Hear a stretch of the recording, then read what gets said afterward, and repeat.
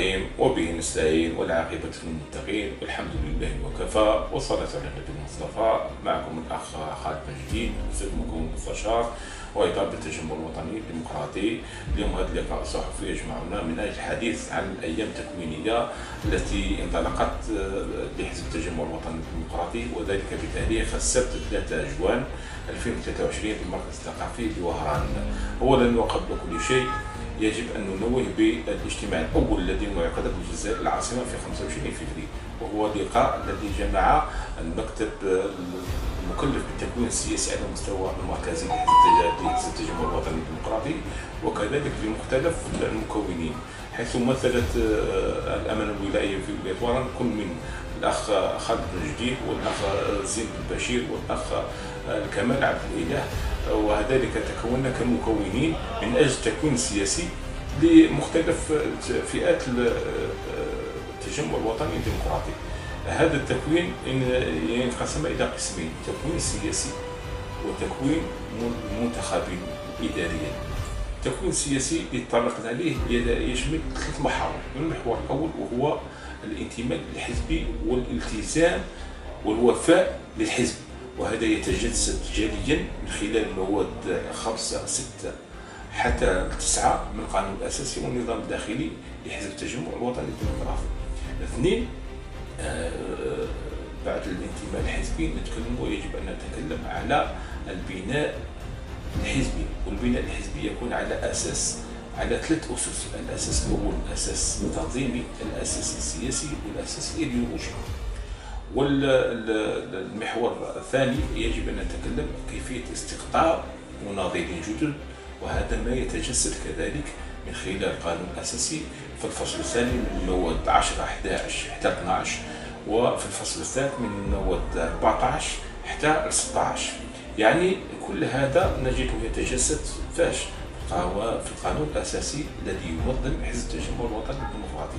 ما هي هوية التجمع الوطني الديمقراطي؟ إذا ما نظرنا إلى الديباجة التجمع الوطني الديمقراطي هو حزب سياسي وطني جمهوري خادم للدولة. بمعنى هذا الحزب هذا آه، يعني يخدم الدولة بكل أركانها وبكل مواصفاتها ويبقى دائما في الصف الوطني. ونقول يخدم الدولة ولا نقول يخدم نظام معين كنقول مفهوم الدولة مفهوم الدولة هو الوحدة الوطنية هو التماسك المجتمعي هو الدفاع والدول على هذه الأرض المصرية بدم الشهداء. هذا هو مفهوم الدولة بمختلف أركانها. آه، المحور الثالث هو يتمثل كذلك في تقوية الجبهة الوطنية والتماسك المجتمعي وذلك في ظل التهديدات الحالية نعرف أن الحدود الجزائرية ملتهبة سواء من الجهة الغربية أو من الجهة الجنوبية الغربية أو من الجهة الشرقية. كل هذه الحدود تاعنا ملتهبة وجب علينا يعني التمسك بآلية التمسك التماسك المجتمعي من خلال تقوية الجمعية الوطنية ويعني التوعية توعية المناضلين والمواطنين. هذا من جهة. أخرى يجب هذا التكوين السياسي يجب أن يكلل بالخروج بدليل دليل المناضل المنتمي للتجمع الوطني الديمقراطي يعني هذا الدليل يعتبر دليل أخلاقيات مناضل التجمع الوطني كيف؟ يعني مناضل التجمع الوطني الديمقراطي يجب أن يتصل بصفات تميزه على المناضلين الآخرين هذا ما يسعى التجمع الوطني الديمقراطي والقيادة الحالية إلى الوصول إليه. فهذا يتجسد إن شاء الله. أن هذه فكرة هذه فكرة أن نطلب من القيادة الوطنية جسدا وهو إعداد دليل أخلاقيات مناظر التجمع الوطني الديمقراطي. هذا من جهة.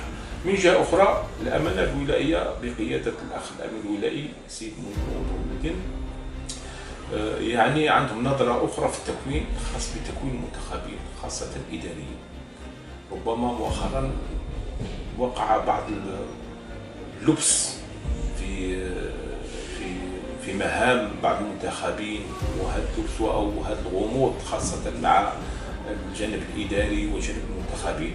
لهذا يعني سوف نعكف إن شاء الله على آه، كذلك إعداد برنامج تكوين خاص بالمنتخبين. وخاص بالمناضلين ربما مناضل اليوم يكون إن شاء الله مسؤول الغد يكون منتخب الغد يعني. فلهذا نشوفوا خاصة في في قانون البلدية وقانون الولاية. يجب تحديد مهام رئيس المجلس الشعبي البلدي. يجب كذلك شرح قانون الصفقات العمومية شرح قانون الوظيفة العمومي شرح المواد وذلك لشرح بعض القوانين التي تنظم العلاقة بين المنتخب والإداري فكل هذه النقاط إن شاء الله سوف نقوم بدراستها دراسة حثيثة وإعداد برنامج تكويني. ضيف إلى ذلك كذلك حتى لا أنسى إعطاء نظرة كيفية إعداد ميزانية البلدية الميزانية الأولية أو الميزانية التكميلية وما هي الوثائق المطلوبة وكذلك ما هي مبادئ المبادئ الكبرى. المالية اللي خاصة بالمالية المحلية من حيث الوحدة من حيث السنوية من حيث الشمولية والعمومية ومن حيث الوثائق كذلك المطلوبة. كل هذه النقاط إن شاء الله سوف نقدمها ككلمات مفتاحية ونناقشها مع المنتخبين والمناضلين وكذلك سوف نرى أو نحدد بعض النقاط من خلال لقاءاتنا مع المنتخبين ماذا يطلبون منا كمكونين. المنتخب ربما فيه بعض النقاط اللي إحنا آه، آه، ما ما قدمناهاش ولا حاجة نخلوا يعني الفرصة للمناضلين تقديم اقتراحاتهم في البرنامج التكويني هذا إن شاء الله. وسوف يكون على مدار سنة وبرنامج مثمر وبرنامج غني. آه، أدعو من خلاله كل المناضلين وكل المتعاطفين والمستمدين بالتجمع الوطني الديمقراطي الحضور هذه هذه الأيام التكوينية.